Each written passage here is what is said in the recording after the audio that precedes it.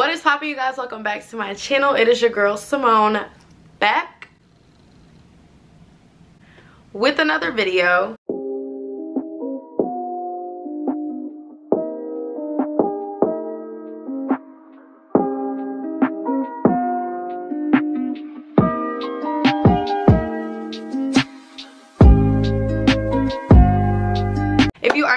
my channel, make sure you hit that subscribe button and click that thumbs up button if you enjoy today's video. Also, make sure to leave a comment. Let me know what you guys want to see because what you want to see, I will deliver. Today, I am actually going to be doing a unpopular opinions video. I thought this would be pretty fun. Um, you guys can get in my head a little bit, you know, get my opinion on some things. So I basically, I went on Google, I looked up some unpopular opinions, but I also put a question thing on my Instagram and said to ask me some unpopular opinions. And that's what we got. So let's get straight into it. This should be fun. So I'm gonna start with um, the unpopular opinions that I was asked on Instagram and then I'm gonna get into the ones that I found myself I need to show y'all. So usually people be having their phones and stuff, but I'm I like to write. Like when I have ideas, I like to write them down. So we got my handy dandy notebook. My dog just busts in here. No Dakota. My dog has learned how to open my door somehow, some way, but no sir. So let's get straight into it. Our first unpopular opinion that I got off of Instagram um, it's transgender relationships and the LGBTQ community. This is how I feel about this. I love everybody. I do not judge. I don't feel no different type of way about anybody based off of the decisions they make and who they are as a person people should be able to do what they want to do. They should be able to love who they want to love. Who am I to tell you who to love? Who am I to tell you what to do? You know what I'm saying? I really feel like there's not much to say there. You should be able to do what you want to do. I love everybody. I need some water. I should have sipped it first. But yeah, I love everybody and I think that people should be able to love who they want to love, date who they want to date, be who they want to be and who they are. So that's how I feel about that. The next one is that NBA Youngboy is trash. Y'all petty. I don't think that NBA Youngboy is trash. I actually vibe out to a few of his songs. Do I think he's the best rapper ever? No. Do I bump him all the time? No. But I don't think he's trash. I do think he has talent. Like he has a lot of music, you know? So I I definitely mess with NBA Youngboy. Oh, I love that song. Um, As I on my window. Hold on. How it start? On a road, cool, ride, ride with the top down. Y'all know what it's about. I probably said the wrong words, but whatever. So the next topic is that ranch is nasty. Who don't like ranch? I mean, my first salad dressing choice would probably be like an Italian, but I love a good carrots and ranch. You know, like if there's no Italian, ranch is probably my second option. You know, like when I have a wing, I'm going to probably eight times out of 10 dip that wing in ranch. I don't think ranch is nasty. I mean, you like what you like, but I don't think ranch is nasty. I think ranch kind of slaps sometimes. So that's my opinion on that. Our next unpopular opinion is, this is kind of a weird one, but should I say this on YouTube? Bad. Now look, this is how I feel about this. Um, if you're a child, close your ears. When you're buying a, that from somebody, nine times out of 10, they have already done that activity with that. So if somebody is giving you bad, then nine times out of 10, they know that they're giving you bad. Okay, moving on. Our next unpopular opinion is that Waffle House is better than IHOP. Let's get into it. I have definitely had IHOP more than I have had Waffle House. But I have had Waffle House. And Waffle House slaps sometimes, for sure. Especially late night, you know, like you drunk or you know, or whatever, those late nights with your friends after a party or something, and Waffle House is open, it slaps. However, better than IHOP, I don't know. I feel like Waffle House and IHOP are in the same category. You know what I'm saying? Like, it's kind of like those are two, they're like the same to me. I don't really eat at those places often, but when I do, like, I feel like I couldn't, I personally can't choose which is better because I feel like they are damn near the same. Waffle House has some things that miss, and they definitely have some things that hit.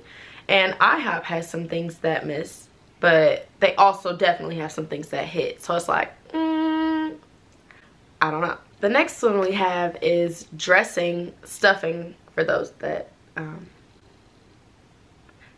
don't call dressing dressing. Dressing is nasty. Now, I could understand why people say this. However, my grandpa makes some of the best dressing in the world. I've never personally made it, but I feel like if I were to make it, it would slap as well. I don't think it's nasty. I for sure eat that on my plate on Thanksgiving because this is the combination that I do.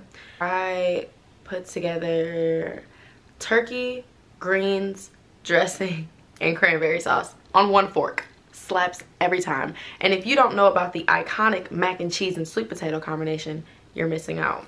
Okay, so this next unpopular opinion was something that I saw online, but it was also commented on my Instagram. So the next one is that Beyonce is overrated. Now, Beyonce has her Beyhive, and y'all not finna come for me. You are not. I feel like Beyonce is a great artist. That lady knows what she's doing. When it comes to music, when it comes to performing, she is a performer. You know what I'm saying? I do feel like sometimes she is held on this like pedestal almost. Like she's like better than other artists. And it's like Beyonce for sure has talent. Absolutely. But I'm just, I guess, not a super Beyonce fan. Um, I know the classics, of course. Um i know some that might not even be classics you know? Like i do have beyonce songs that i get down to. But she's not my favorite artist you know? Like there are some people that are die hard for beyonce and i'm not one of them i don't want to say she's overrated. Yeah i don't think she's overrated. I don't think she's overrated but she's not my favorite if that you know makes sense makes sense Throughout this video, you're probably going to see that I am very indecisive. It is hard for me to make decisions. And questions like this, okay, so now we are going to get into the unpopular opinions that I found online. Um, yeah. Ketchup should be in the fridge. I agree completely. Why is your ketchup out? It says it should be refrigerated. On the bottle, it says refrigerate after opening.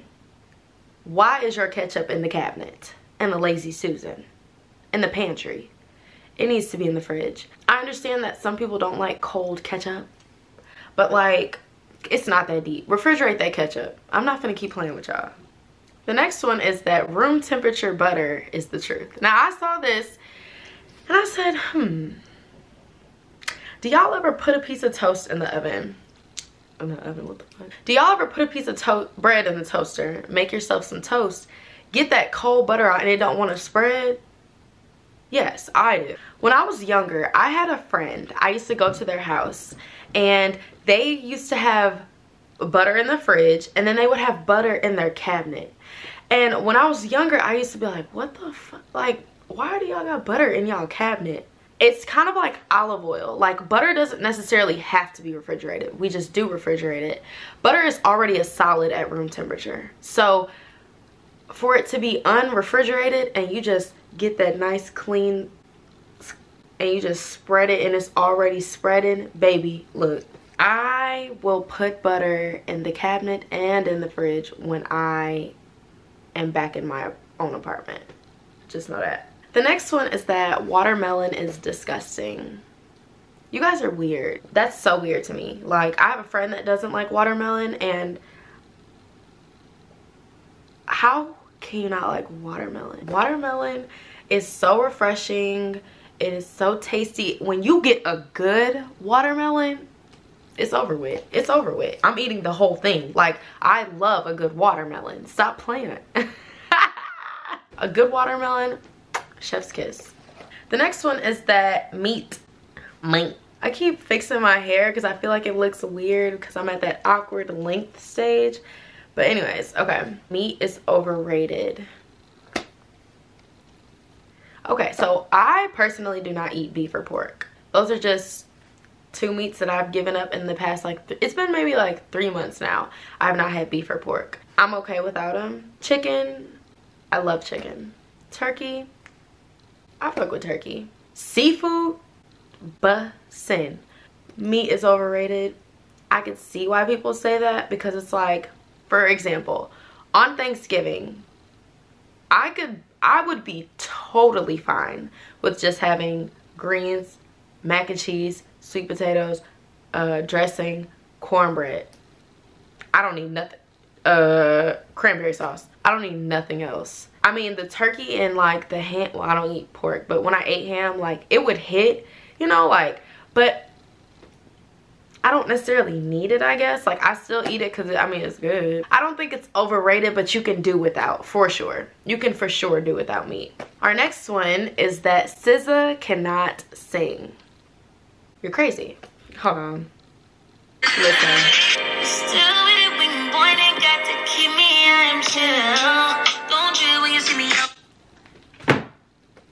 Shall I say anything else? Did she?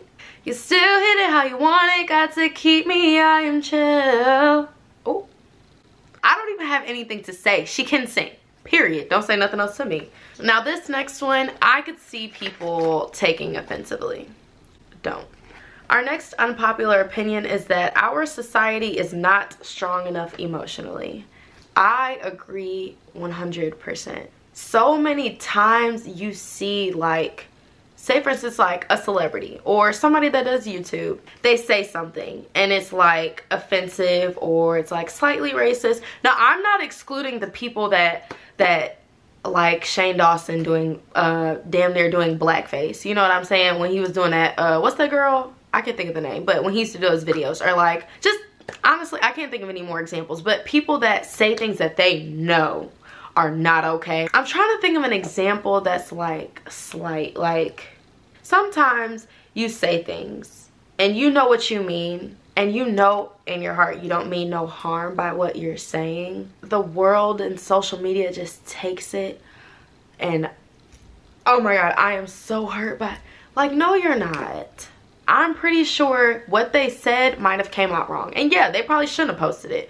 But it's like, people are human. They say things sometimes that are like, mm, especially people that are highlighted by social media or um, that are, you know, known to the world. It's like, you have to watch everything you say because people are so sensitive. Like, why do you care? Like, that's just how I feel. Maybe that's just because who I am, but like people care way too much. Moving on, social media is completely ruining communication. I completely 100% agree with this. I think that um, if we think about it, like back in our parents' day, when somebody was trying to pursue somebody, they had to do it in person or um, even it got, I mean, eventually like over the phone or like through mail. Like, you know what I'm saying? Like, people literally genuinely had to put in effort. Now, it takes somebody to like three of your pictures to know that they're interested, you know? Or like, you know, like, I guess this isn't really social media, it's just technology in general, but like texting.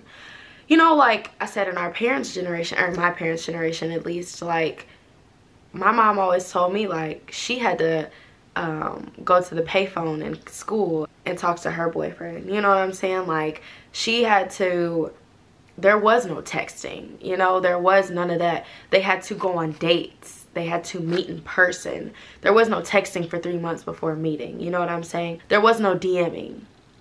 DMing me telling me I'm cute. No, you had to tell me that in person. So I do think it ruins communication. I think people's communication skills are now not as good when they are in person with somebody because a lot of people really truly haven't had that experience with you know, talking to somebody in person. And I honestly am guilty of it.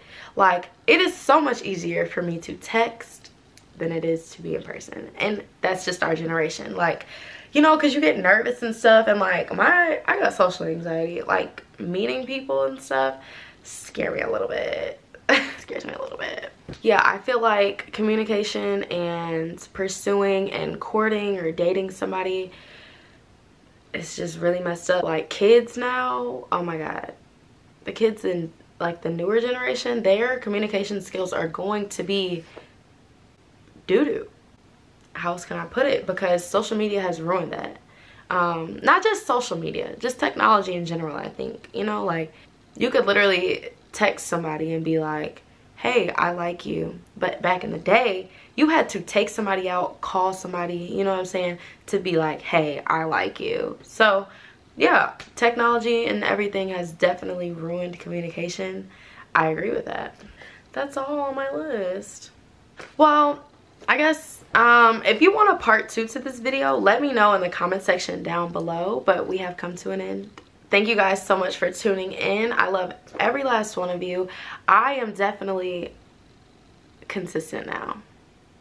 And you can't tell me nothing. If you are not subscribed to my channel make sure you do that and join the family.